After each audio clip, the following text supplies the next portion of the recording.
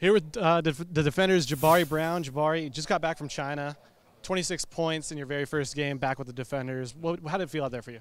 I feel good, just trying to get my timing back and uh, get a little bit of the rust off. But I feel pretty good. Now, did it help that you that you played so well in China that it's more of a seamless transition, or did like coming back to the D League playing a different style kind of throw you off a bit? Oh no, it's it's a different style, but I don't feel like it threw me off. It's just uh, getting acclimated to new teammates and stuff like that. Right. Because the only player that really was around last year were Dre and uh, Vander. Uh-huh. Yeah.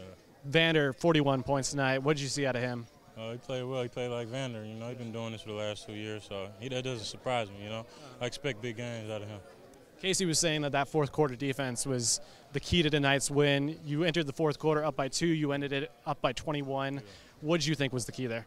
Yeah, we uh, stopped them from hitting threes. They didn't shoot well from three in the fourth quarter, and we were able to get stops and, and go and, and, get out in transition.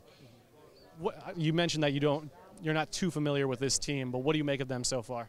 Uh, I mean, I feel like it's a, a, group that likes to play with each other. You know, the camaraderie is there and good support and energy, so I feel like that's a good thing. Safe to say, a good welcome for you too. Yeah, definitely. Uh, you know, they made me feel right at home, and uh, I feel like I fit in well with the team. Last thing for you, uh, your former college teammate and Laker teammate Jordan Clarkson here for you tonight. What was it like having him in the crowd? Oh, it's cool. Me and Jordan like brothers, so you know, uh, you know, I knew he wasn't doing that. I, I expected him to come, so you know, it's cool. I'm showing support though.